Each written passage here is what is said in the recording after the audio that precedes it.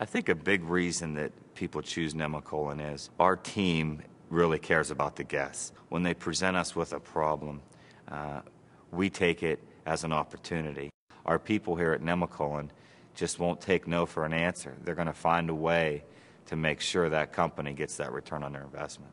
For example, we, we customize uh, things specifically for people's needs. Our uh, planning staff is wins awards throughout the year. We're motivated by the awards, the five diamonds and the five stars that we receive. But what really makes us go is the guest. I think a big advantage that a group sees at Nemacolin is it's not just golf and spa. There are so many, I mean, almost limitless activities that they can choose from. Nemacolin really has an impact on people, and they want to share it, you know, with their business, but also with their family members, and I think that's real special.